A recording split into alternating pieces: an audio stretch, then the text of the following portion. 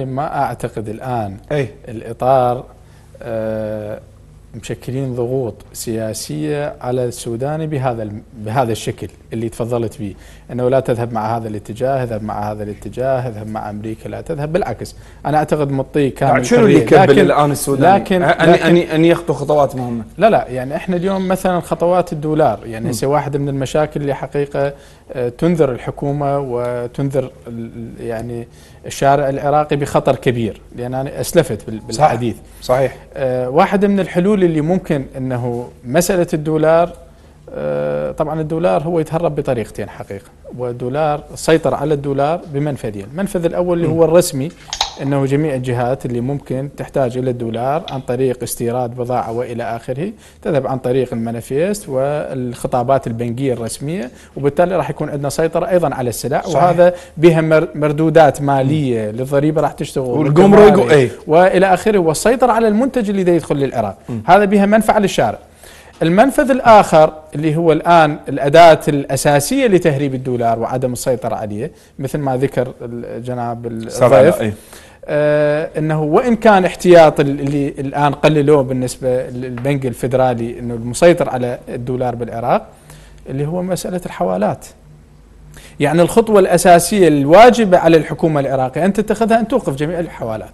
إحنا ما عندنا ترى بالمناسبة شنو مكتب حوالة مفتح بفلان شارع آه يشتغل له بكذا. مليون دولار دكاكين. شنو دكاكين تتعامل بالدولارات لعد شغل البنك شنو من سئلة يقول هذا ميني بنك يعني هذا بنك صغير ماكو هيجي ما عندنا بأي بكل دول العالم ما موجود. أكو مكتب صيرفة اللي هو تغيير العملات حسب تسعيره البنك المركزي. أما أنا حوالات تتحول بملايين ال- الدولارات. هذا مو شغل هذا منفذ رئيسي وأساسي لتهريب العملة.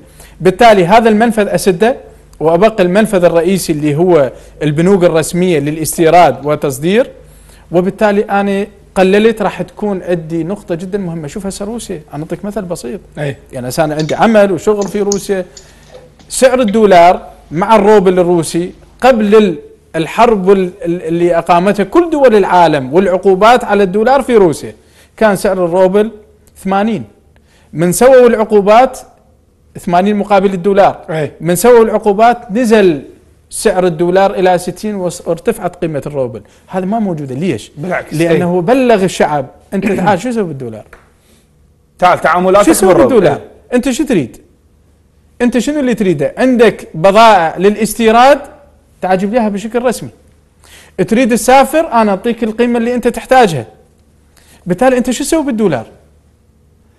هاي السيطرة على الدولار قلل الطلب عليه. بالتالي ارت- قلت قيمته بال- بالأسواق جميل. هاي الروسية. هاي تعتبر جزء من السياسة هاي, هاي النقديه والماليه هاي نقطة واجب على وذكرت تتخذها حتى تسيطر عليه ذكرت لي ذكرت لي نقطة مهمة. وهي. قلت لي الاطار آه، خليه براحته السوداني. ماكو ذيك الضغوطات الكبيرة عليه لا تروح لهذا المحور لا تروح. يعني ليش ما يبدأ يعني بخطوات أنا مهمه انطيك يعني أنا أنطيك دلالة للكلام. يعني شوف أي. اليوم الإطار آه، ما فرض على السودان لا تذهب بهذا الاتجاه واذهب بهذا الاتجاه.